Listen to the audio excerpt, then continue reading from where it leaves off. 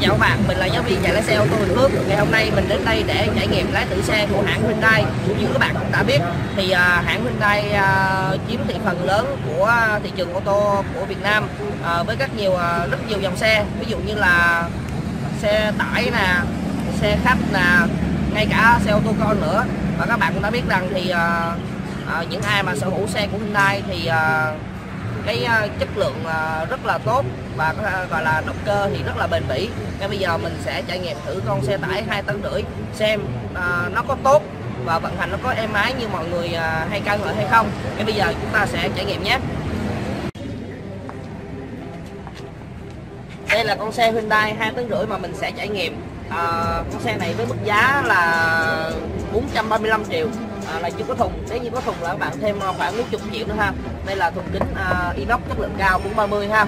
À, ngay bây giờ mình sẽ lên xe coi con xe này nó chất lượng như thế nào nhé.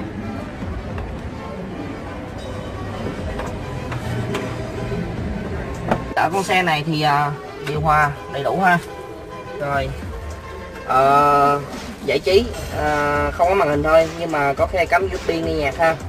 Đó có đài FM rồi, có chỗ để các bạn để điện thoại luôn ha. Đây, khay để điện thoại. Rồi, những này là những nút cơ để chúng ta điều chỉnh ờ, điều hòa ha. Rồi, đây, các bạn có thể sạc điện thoại vô tư ha.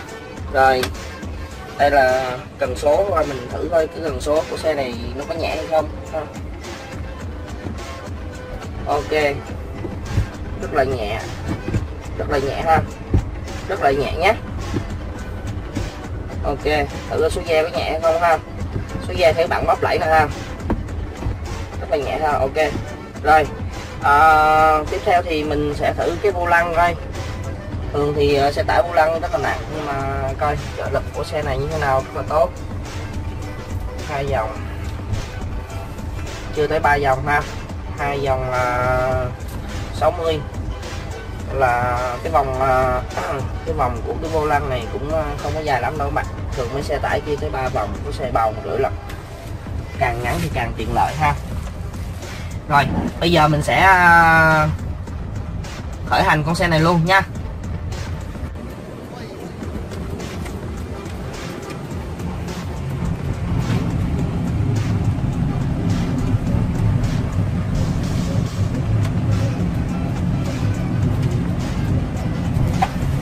Đây là à, mình ờ, rất ít khi lái xe tải. Nhưng mà thực sự mình cũng không có ngại ngần khi mà vận hành con xe tải đâu. À, bởi vì ờ, thì cũng đơn giản thôi chứ không có gì đó nếu mà các bạn lái xe tốt thì lái xe nào cũng được thôi. Ngay cả xe 29 chỗ mình cũng lái bình thường.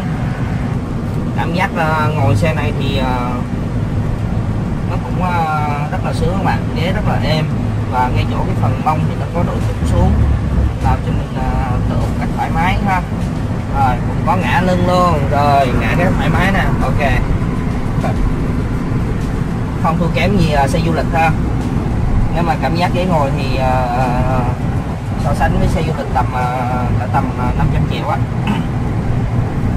Còn uh, so sánh với uh, xe du lịch uh, 8 900 thì uh, hay là cao hơn thì chưa bằng.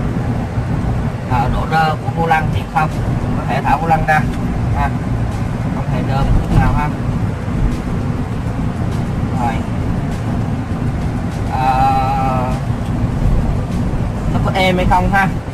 Thường thường ngồi xe tải nó hay cực thuật định tưng tưng như là xe chở heo vậy thôi nhưng mà không. Xe này thì ờ, mình cảm thấy là rất là êm. À, có thể nói rằng à, chiếc uh, Hyundai hai tấn rưỡi này à, cắt âm rất là tốt nha các bạn. À, nhiều khi có thể là tốt hơn chiếc uh, cái chiếc xe của uh, ô tô mà mà mà hãng pháp giá bạn. Rồi bây giờ thì mình sẽ thực hiện uh, quay đầu xe ha. À, mình đi số 2 được rồi ha. Đánh lái. Rồi. Cũng không dài lắm.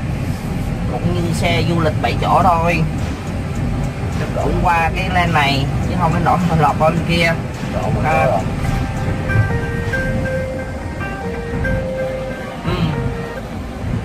chung là cảm giác mình ngồi xe này thì rất là sướng. Lái rất là vi vu như những uh, bác tài chuyên nghiệp. Rồi bây giờ mình, mình thử tăng tốc coi con xe này có mạnh không ha. Xe này cũng mạnh đó rất biết không nếu mà chấp tài hàng thì chạy có lẽ là cũng vô tư. Rồi học lái xe không khó đâu các bạn. Số 3 ha đầu số 3 mặt kia đi phải luôn á. Rồi bây giờ đánh lái đột ngột thêm cái con xe này nó cân bằng như thế nào? À, qua luôn đường đường coi ok cân bằng khá tốt nha. Sợ mà. Anh quen mà ok mình chạy số 4 mà nạp ra cũng thấy mạnh á. Thôi đi số 5 cho em máy nè. Ok à, đi dốc đây mà vẫn đi số 5 bình thường. Hôm nay à, trải nghiệm à, con xe tải này mình cảm thấy rất là thú vị. Không biết là có một ngày nào đó mình đi làm nghề à, giao hàng xe tải không nữa.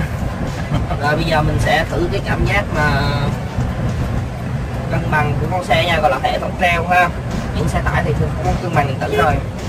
Ngay nhìn cái đây đó. À.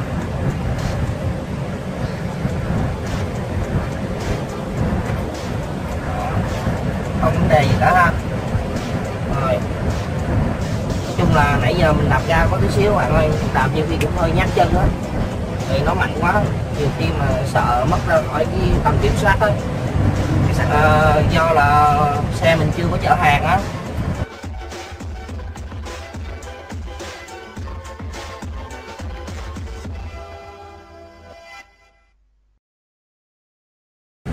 Rồi bây giờ thì mình sẽ quay về à, công ty vừa rồi mình mới trải nghiệm à, một vòng à, con xe hai tấn rưỡi này thì cảm giác lái à, rất là êm ái. À, mình cũng thử một số cảm giác mạnh nhưng con xe vẫn rất là ổn định nha các bạn. À, đánh lái gấp à, hệ thống treo rất là ổn định. Rồi à, thắng gấp à, thì không có bị bó phanh là có ABS ha. Rồi nói chung là về xe tải thì các bạn nên lựa chọn Hyundai không có gì để chê cả.